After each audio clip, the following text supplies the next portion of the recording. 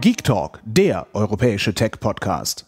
Einen wunderschönen guten Morgen und herzlich willkommen an diesem Dienstag, dem 8. Februar 2022. Ihr hört die GeekDoc Daily 1161 und heute habe ich die folgenden Themen für euch. IKEA, Devolo, Meta, Brack und Reparatur. Ich starte gleich mit IKEA. Die haben nämlich in 35 Einrichthäuser, Einrichtungshäusern in Europa sogenannte Sustainable Living Shops eingerichtet. Was sind das? Das sind Shops, die einem zeigen sollen, wie man einen Tag, und zwar möglichst jeden Tag, nachhaltig gestalten soll und oder könnte.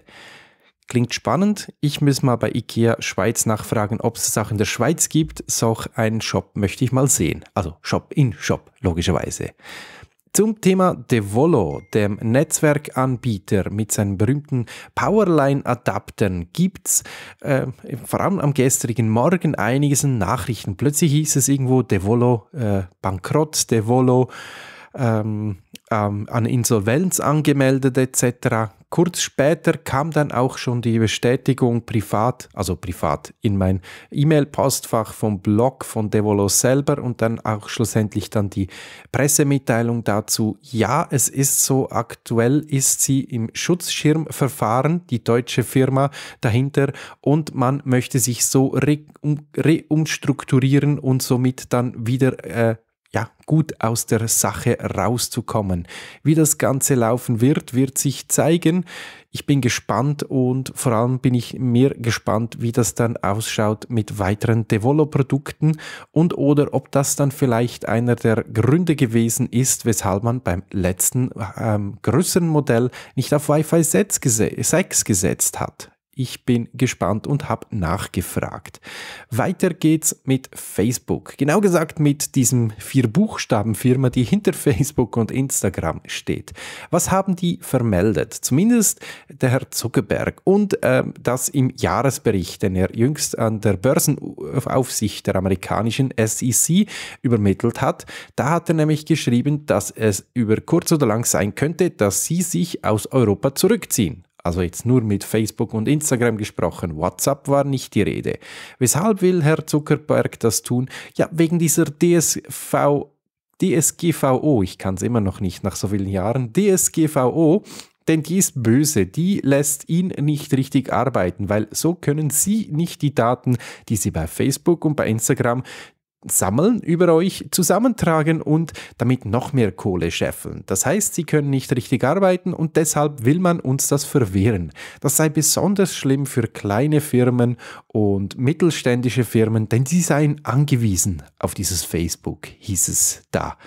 Ja, es ist so, man kann viel Geld ausgeben bei Ver für Werbung in Facebook, man kann auch viele Leute erreichen. Seit aber hier gewisse Regelungen wie DSGVO stattfinden und natürlich auch dieses böse Apple da drüben, funktioniert das nicht mehr ganz so. Da muss man halt umdenken und neue Geschäftsfelder entdecken, würde ich doch mal sagen. Und vielleicht mal ein bisschen sauberer werden.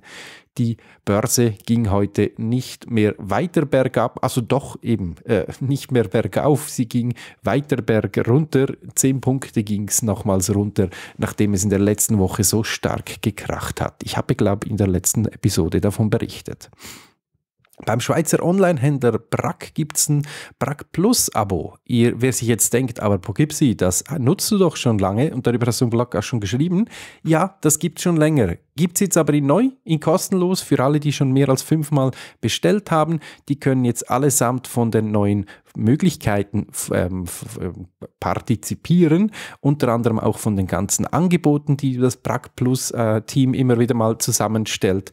Neu kann man bis 18 Uhr und nicht nur bis 17 Uhr bestellen, wenn man Brack Plus-Kunde ist und, und, und. Was aber auch wegfällt ist, und das ist für mich ein bisschen traurig, der Kleinmengenzuschlag. Denn den hatte ich mir für etwas um die 40 Währungseinheiten jedes Jahr erkauft, dass ich den nicht mehr habe. Der fällt jetzt weg in dem Sinn, dass der nur noch für drei Bestellungen pro Jahr gilt.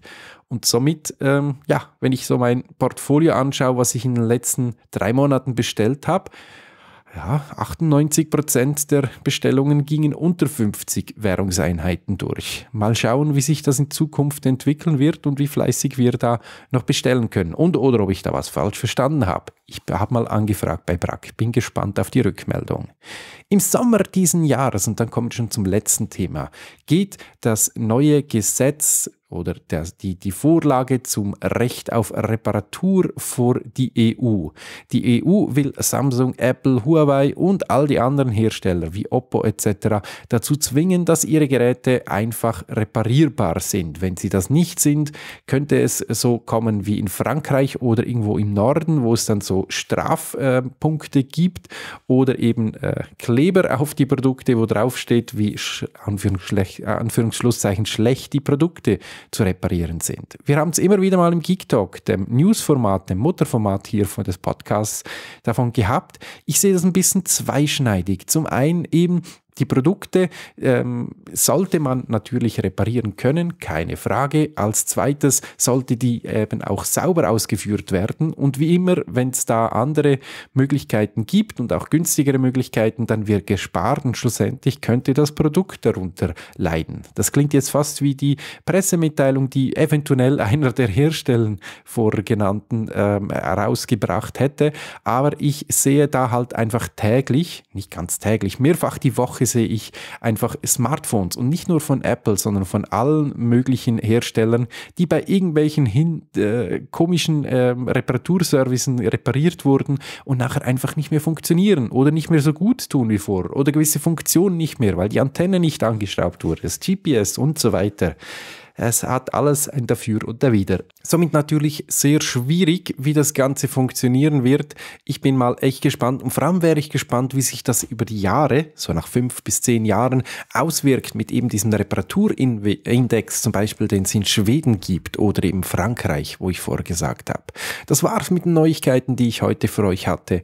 Ich hoffe, ihr habt ein bisschen was mitnehmen können. Freue mich auf eure Rückmeldungen, Feedback etc. Und ah ja, danke vielmals noch an den, und jetzt muss ich kurz in mein Mailpostfach, den Tobias, der mir auf die Folge GeekTalk Daily 1158 sich zurückgemeldet hat mit einer App, womit man, genau, mit der App Rot, des Roten Kreuzes, womit man eben die, ähm, äh, das, äh, wie heißt das Zertifikat schon wieder? Das Covid-Zertifikat in die äh, Apple Wallet bekommt und nicht eben so eine Bastellösung, wie ich angesprochen habe. Besten Dank an der Stelle nochmals. Ich werde die App verlinken und ich werde das mal auch mal ausprobieren. Aber so wie das da drin steht, Green Pass EU, also EU, wird das wahrscheinlich nicht in der Schweiz funktionieren.